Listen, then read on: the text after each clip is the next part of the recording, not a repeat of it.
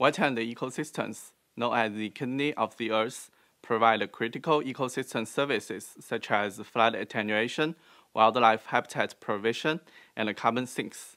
However, in the age of climate change, more than 80,000 acres of wetlands are being lost annually due to the increase in temperature and the rising sea levels. Massive wetland degradation can lead to a reduction in carbon sequestration and ultimately lead to wetlands being converted into net carbon sources. However, the environmental factors driving the wetland carbon fluxes and the current status of wetland carbon emissions remain unclear. Such knowledge is critical for wetland management and protections. To fill this gap, in this study, I used machine learning techniques and Flux data to identify the driving forces of wetland carbon fluxes and map their spatial patterns over the entire southeastern U.S. United States is rich in wetlands, especially the southeastern U.S. Wetlands in the southeast account for nearly 50% of the total wetland areas in the continuous U.S. Over the study area, there are a total of 13 Flux sites that measure carbon fluxes and associated environmental variables. So to answer the first question, what environmental factors driving the wetland carbon fluxes in the southeastern United States?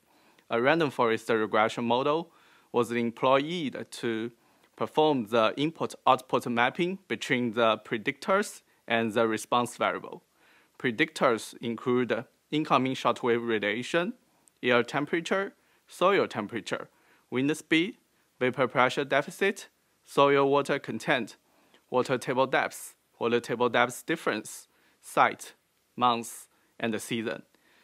The response variable is the net ecosystem exchange of carbon, which can be referred to as NEE for short. All predictors and the response variable come from Flux measurements. After a series of hyperparameter tuning, I finally got a random forest regression model with an accuracy of 0.68.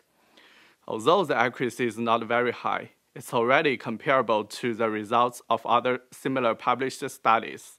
The model also ranks the relative importance of each predictor, with incoming shortwave radiation, soil temperature, and water table depth being the top three important variables on NEE.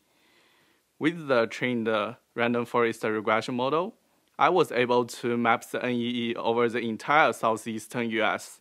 To answer the second question, what is the status of wetland carbon emissions? Uh, are wetlands carbon sinks or sources? The estimation map shows that NEE values are all negative, which means that wetland ecosystems in the southeastern US uptake carbon dioxide from the atmosphere, i.e. act as carbon sinks. And also higher net carbon dioxide uptake was found along the coastal areas and around the Mississippi Delta, where more wetlands are located.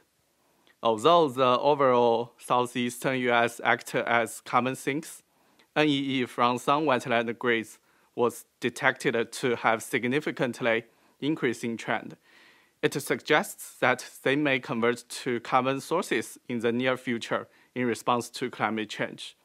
Therefore, wetland protection and conservation actions are urgently needed to reverse this trend.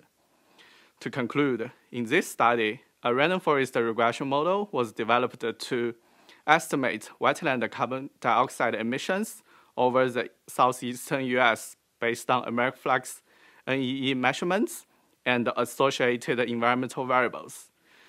The developed random forest regression model fitted well with an accuracy of 0.68. The wetland NEE is found to be most sensitive to variations in incoming shortwave radiation, soil temperature, and water table depths. And the mapped NEE over the entire southeastern US ranges from minus 2.39 to 0 micromole carbon dioxide per meter square per second. Negative NEE values indicate the southeast US wetland ecosystem act as carbon sinks. However, NEE from some wetland grades significantly increased with time, which require our actions to reverse this trend.